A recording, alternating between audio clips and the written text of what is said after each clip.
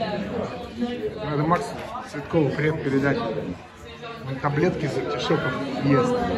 Вот надо брать этот артишок. В этих таблетках сколько там миллиграмм, да? Тут вон Ехать в Париж, Валер Шок. Вот такая терапия может дать эффект да. определенным образом.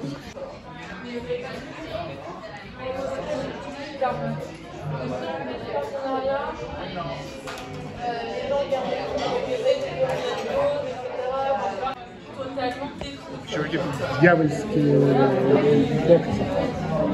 так красиво. Все, понял. Это уже точно. Сейчас попробуем.